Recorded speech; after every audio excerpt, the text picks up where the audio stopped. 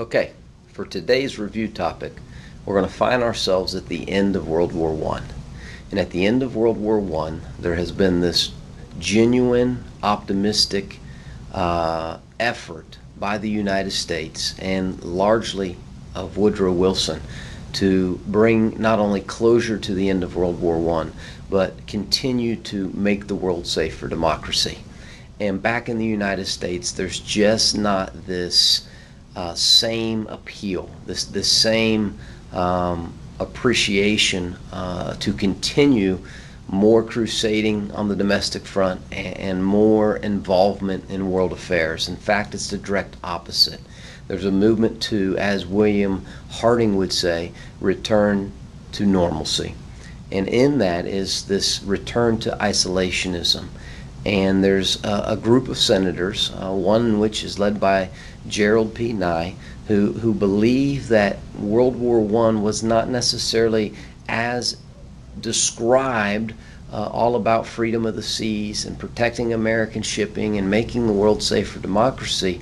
Nye believes that there's some evidence that potentially uh, America got pulled into World War I uh, because of our munitions dealers, that there was an economic opportunity uh, for a class of Americans, a wealthy class of entrepreneurs and businessmen uh, to literally become the merchants of death during World War I and sell munitions and make lots of money at the same time you know, rack up a, a, a, series of debt in which the United States had to help the Allies win the war at the end.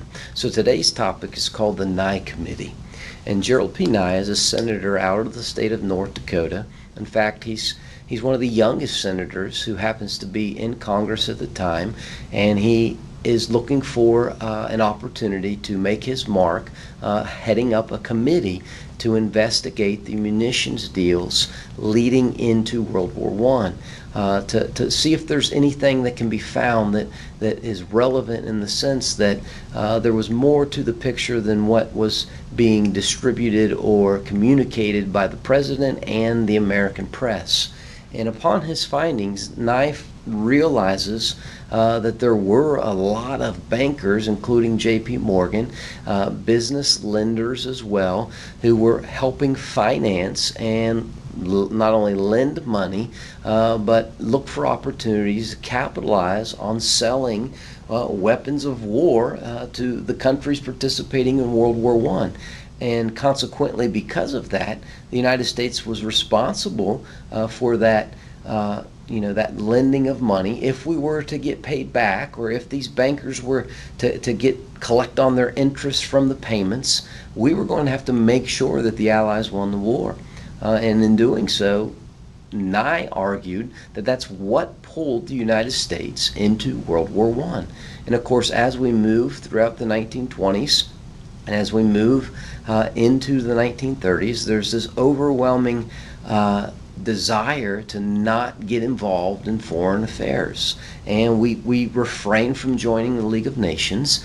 Uh, we enjoy a boom period throughout the 1920s of, of, you know, enjoying the roaring 20s. And then by the time we get to the 1930s, there, there is some, a large portion, we could say, uh, of Nye's finding that the government supports.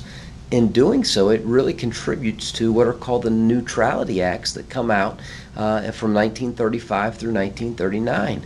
And it really keeps Roosevelt from being able to, to respond to the growing threats that are now emerging in Japan and, and in Italy and in you know Germany, the rise of Hitler, uh, because America can't lend, America can't send uh, and in a sense uh, get involved like they did in World War One, and it really kind of prohibits the United States from stepping into a role that potentially might have saved a lot of lives and might have turned the story around of how uh, we end up in World War II. Uh, but that is a big what if.